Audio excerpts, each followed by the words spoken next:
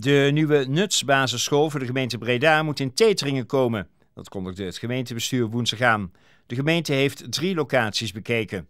Een plek in het al bestaande gebouw van basisschool De Wegwijzer in Teteringen komt daarbij beter uit de bus dan locaties in Breda Noord. De gemeente wilde in eerste instantie helemaal geen nieuwe nutschool, maar de Raad van State oordeelde dat de school er wel mocht komen. Nutsonderwijs is onderwijs dat onafhankelijk is van religie of andere maatschappelijke stromingen.